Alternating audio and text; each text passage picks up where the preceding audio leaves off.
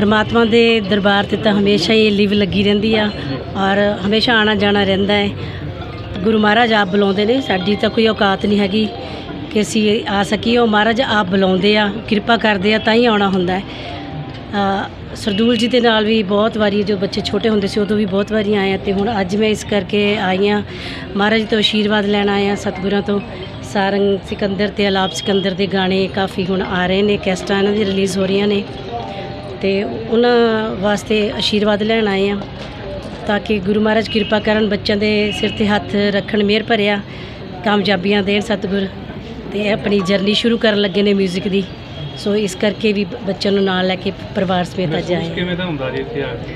ਬਹੁਤ ਸਕੂਨ ਮਿਲਦਾ ਜੀ। ਦੱਸ ਨਹੀਂ ਸਕਦੇ ਸ਼ਬਦ ਹੈ ਨਹੀਂ ਬਿਆਨ ਨਹੀਂ ਕਰ ਸਕਦੇ। ਕਿਉਂਕਿ ਗੁਰੂ ਦੇ ਚਰਨਾਂ ਦੇ ਵਿੱਚ ਅਸਲ ਤਾਂ ਜਗ੍ਹਾ ਇਹੀ ਆ ਬਾਕੀ ਤਾਂ ਸਾਰਾ ਕੁਝ ਆਣਾ ਜਾਣਾ ਹੈ ਜ਼ਿੰਦਗੀ ਜਿਹੜੀ ਆ ਜਦੋਂ ਆਪਾਂ ਧਰਤੀ ਤੇ ਸਾਡਾ ਜੀਵਨ ਹੁੰਦਾ ਹੈ, ਜਨਮ ਤੋਂ ਲੈ ਕੇ ਮਰਨ ਤੱਕ, ਮਾਇਆ ਜਾਲ ਹੈ ਇੱਥੇ, ਆਣਾ ਜਾਣਾ ਸਾਰੀਆਂ ਚੀਜ਼ਾਂ ਨੇ, ਪਰ ਕੁਝ ਵੀ ਹਮੇਸ਼ਾ ਸਥਾਈ ਨਹੀਂ। ਸਥਾਈ ਜੋ ਹੈ, ਜੋ ਸਦਾ ਰਹਿਣ ਵਾਲਾ, ਉਹ ਸਿਰਫ ਪ੍ਰਮਾਤਮਾ ਦਾ ਨਾਮ, ਉਹ ਸਤਿਗੁਰ, ਸੱਚੇ ਪਾਤਸ਼ਾਹ ਜਿਹੜੇ, ਉਹ ਸਦਾ ਰਹਿਣ ਵਾਲੇ ਨੇ। ਜੋ ਸਦਾ ਰਹਿਣ ਵਾਲਾ ਹੈ, ਮੁਹੱਬਤ ਉਹਦੇ ਨਾਲ ਕਰਨੀ ਚਾਹੀਦੀ ਹੈ, ਚਾਹਤ ਉਹਦੀ ਰੱਖਣੀ ਚਾਹੀਦੀ ਹੈ, ਜੋ ਸਦਾ ਰਹਿਣ ਵਾਲਾ ਹੈ।